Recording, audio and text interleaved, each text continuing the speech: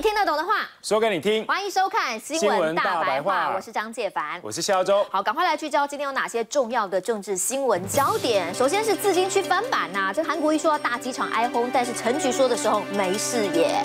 郭董要舔盘子，超级非典，他大军狂扫地方，逼大家选边站吗？嗯，英德大战今天真的是生死斗，中执会会不会成为民主送行者呢？韩国瑜炮打中央卡高雄，是不是没用？可比老神在在，等着赢。韩，韩国市长啊，他最近的成绩大家都会很很关注哈。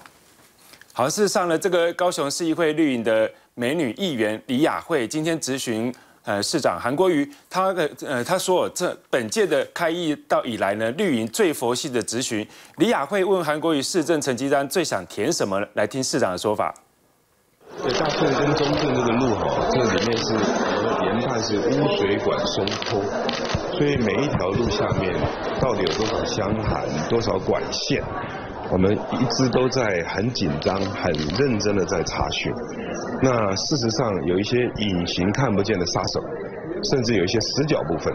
那现在市政府的团队呢，必须要在汛期来临之前严密的来检查。另外一点，即使汛期过后，我们也是要严密的检查。昨天这个摩托车骑士啊，因为骑摩托摔伤，我也请市府团队立刻去慰问，我们也表达非常的歉意。呃智商真的很歉意。那路的这一边呢，市政府团队绝对不敢放松，会继续严格的来检查它，抓出各种可能的呃造成路面坍塌的这种原因，我们会全力以赴。好，刚刚听到高雄市长韩国瑜道歉，是因为昨天发生了一个小意外哈。没有错，主要是因为昨天这个在路上面有发生一个漏洞了。可是大家想说，这一次高雄原本是没有受到大雨的影响，但是还是出现了路塌的情况。所以市长赶快解释，到底是发生什么事？对，刚刚就是市长最新的解释。那另外，现在画面上看到的这一位高雄市议员，他其实是民进党籍的市议员，但是呢，今天的质询完全没有火药味，也被称之为说是这个这个高雄市议会会旗啊。最佛系的一场民进党的质询，那这位市议员是问韩国瑜市长说，请他要把成绩单拿出来，希望看到成绩单是怎么样。来听韩市长怎么说。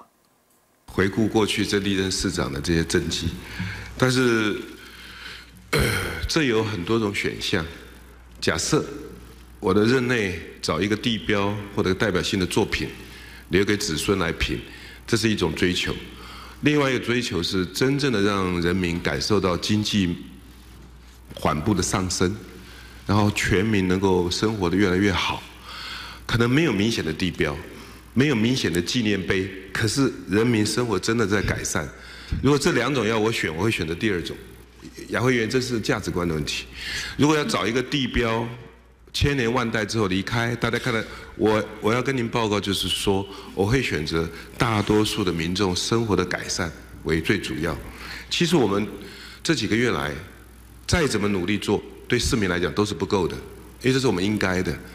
就像六月三号下午，我们要成立台湾很少见的珍珠妈妈，我们已经把钱都凑好了，我们每每一天都在做不同的事情。我只是随便举一个例子，这也是台湾。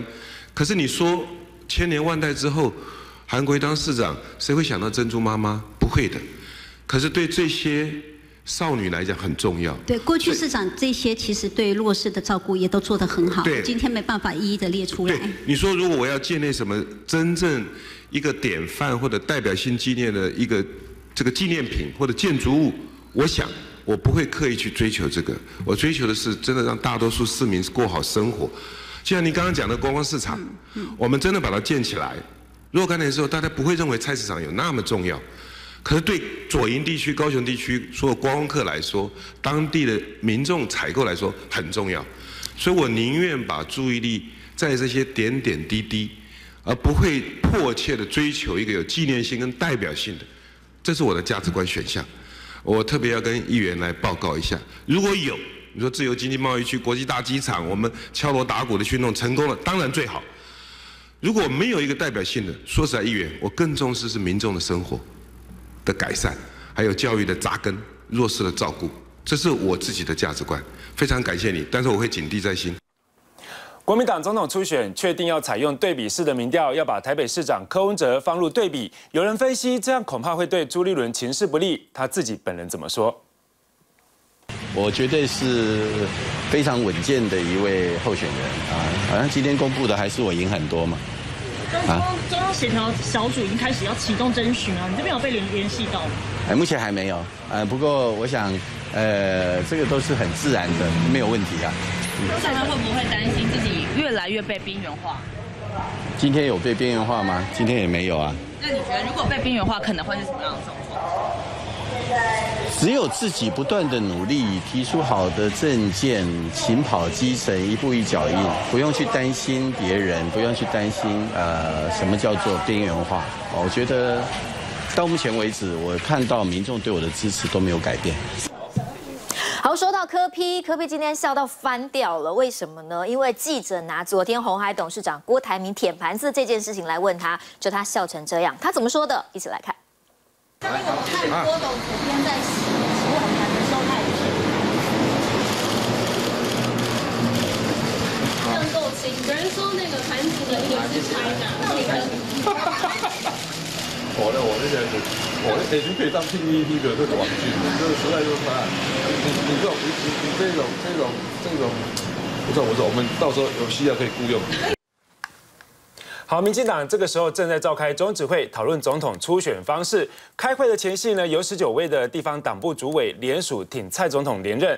赖清德在脸书发文，他说：“如果真的在中指会改变初选规则的话，会强害民进党的信誉。”就在民进党中执会开会前一晚，新北市党部主委于天深夜公布十九位县市党部主委的联署书，指他们愿力挺总统连任。而这份联署挺赖的台南市主委黄先柱自然缺席。你们要不要联署？现任优先。他们说好，因为他们其实都很关心这次的初选会造成这个民进党的这个基本盘的分裂，这是必然的。现市串联听总统，无疑是给总统一记强心针。但党主席连书也发文，除表达对中执会的忧心外，文末这一句引用复仇者联盟的一千四百万分之一的可能，却让人质疑。庄泰是把谁比喻为大坏蛋萨诺斯，而就怕中执会更改初选办法，赖清德一早在喊话，只若讯息属实，必将严重残害本党社会信誉，进而使本党走向沦丧。只是就算赖清德火力全开，总统似乎仍不愿伤和气。我们一定会着眼在呃呃有最高胜选的选项嘛，嗯，那。我相信我们的呃支持者跟我们的党在这个阶段还是觉得他是应该是一个是一个好的选项。换句话说，蔡赖佩还是在总统的选项内，但挺赖的独派团体恐怕不认同。二十二号公布的民调中，赖清德的欣赏度是想选总统的人里最高的。另外，总统的满意度依然是不满意高于满意度。民进党的中执会前主帅没出面，但两方支持者。动作不少。TVB 的新闻，焦汉文、焕柔台北报道。而世界卫生大会 （WHA） 开幕，台湾虽然最终没有纳入议程，但是第一天，除了我们的友邦之外，包括了美国、德国和英国都在大会上面发言，直接或是间接的力挺台湾。其中呢，这个美国的卫生部长艾萨他受访的时候也强调，台湾的两千三百万人民应该要得到发声的机会。对此，卫福部就说了，事前呢，我们的业务单位有特别去加强和各国的沟通。卫福部长陈时中和美国卫生部长亲密握手，推特力挺台湾加入 WHA。We regret that once again Taiwan was not invited to observe at this assembly as they were from 2009 to 2016. The 23 million people in Taiwan deserve a voice just as much as anyone else does. 发言时间支持台湾声浪不间断，除了十四友邦，包含美国、德国、英国都发言力挺台湾，别人都帮忙发声了，自家人更是努力争取空间。 不条大声呼喊口号，卫福部长陈时中率团日内瓦街头抗议，因为这已经是台湾第三度没被受邀参加 WHA。It's the basic human rights. The United Nations. Universal Human Rights Convention, you can look into the charter itself. Every citizen in the world has a right for self-determination 经过两次二对二辩论，大会最终还是决定不纳入议程。但台湾的缺席换来国际间建立力挺。呃，我想啊，委员可以看得到，其实现在各国对我们参与这个 W 那个这个活动的一个发生越来越多国家了，包括美国、日本部长或者相关的市长相关业务单位跟民间团体，其实都做了相当多的沟通啊。虽然最后还是和 WHA 擦身而过，友邦力挺国际发声，台湾力拼和国际接轨。TVB 新闻综合报道。华为遭到美国封杀之后，它旗下独立的品牌荣耀还在英国宣布要推出新的旗舰机种。只不过现在业界都普遍担心，华为如果不能使用安卓系统，恐怕会流失广大的客群。才刚传出 Google 终止合作的消息，华为旗下的独立子品牌荣耀在英国发表了一款叫做 Honor 20的旗舰机种。